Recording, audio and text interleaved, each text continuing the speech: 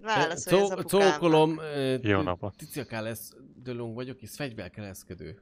Az, az jó. Csak vicceltem, érted? Mindig csak viccelődő. Értem, René apukája vagyok.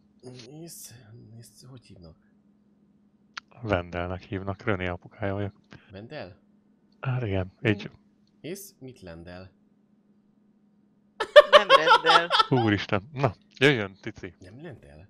Mondom, Ticia. Vendel. V Pici. betű. Lendel, persze. Egy pénz